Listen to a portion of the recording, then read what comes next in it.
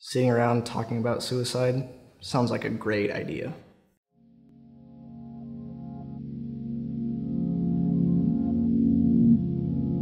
Well, things are about to get intense, right? Because we're going to get to an uncomfortable subject. We're going to talk about those things. And it's almost forcing the conversation when you sit down in those small groups. And there may be some scabs that are ripped off. I've heard of it, but what is the Resiliency Tactical Pause? This is not just a top down directed campaign. This is about us, and that's all of us. It's not leadership. It's not me as the wing commander or the command chief trying to figure out how to solve the problem. This is us, the airmen and the family at Moody. This is for us to figure this out. I mean, a down day would be nice, but I don't, I don't have time for this. We have airmen out there who can't afford to take the down day because they have to secure the gates or they have to do something, the medical group. They have to do things to take care of our customers. Uh, what does that look like to them if we call it a down day? So executing this uh, at the squadron level and being able to get that information out to build those touch points uh, and drive home what it means uh, to, to take this pause, what it means to connect with each other and be able to have a conversation is, is what it's about. And it's not a one-time event. This should be something systemic uh, and infectious for every airman for the rest of their career. What's the point? What's the point? What's the point? We have to understand each other. We have to engage in these hard conversations. And we have to figure out a way to actually make change. And so this cannot be just an anti suicide campaign. This cannot be just a resiliency campaign.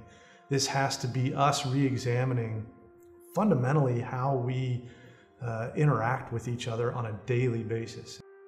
Does leadership actually care about us? Even now, talking about it, I can I can feel the weight. There's things that happen and things that you see that you can't take away. Um, as you get up in rank and you become you, you can become more attached, even though you're further away. Uh, every time you hear about it, uh, it feels like one of your own because this is a family. Um, regardless if it's across an installation, if it's in your career field, if it happens on your base, uh, you carry it um, and you try to go on about your day to day, but you have those circumstances and those times sitting in your office, walking to your car, where you just go, "What's going on?" and how how do you fix it? So how do we get there? How do we get there? How do we get there? I, I think it starts with honest conversation and feedback. Um, we need to understand the problem better. We have to care about each other. And that has to be a genuine care, not because it's a campaign slogan or because it's what we're talking about this week. This has to be, we have to fundamentally reevaluate the way we go about our daily business and be engaged with each other uh, in all different manners.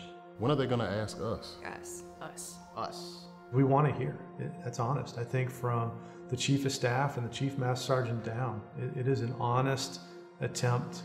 It is meaningful. We want to know what the problem is and get ideas on ways we can get better. Uh, we have a very challenging mission in the military these days, in the Air Force. Um, but, but this is part of that. This is part of accomplishing the mission. Um, and we have to understand it. And so I think um, whether it's talking to your supervisor, engaging in these conversations, or just talking to the airman next to you, start that conversation, have those conversations. And then if you do have ideas that may help, then let your supervisor know, let, let, uh, let all of us know. Email me or the chief or Colonel Conde.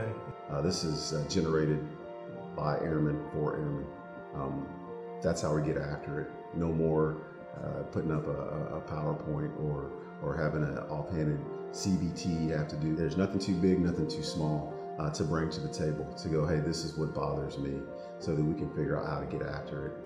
What if this happened to somebody in their family? Because I can't imagine that at all.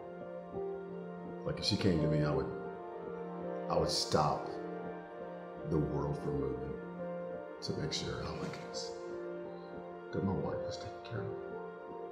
Okay, I'm. Oh, talk about my wife. Oh.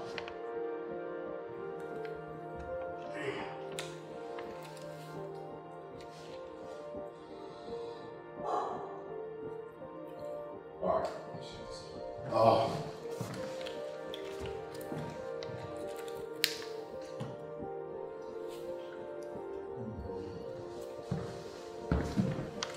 gammon or booger and snot. Okay. Yeah, I couldn't. Uh, I would do anything uh, for my, for my immediate family, for my wife. Uh, I would do anything for my airmen as well. Um, it's family, so so it's important.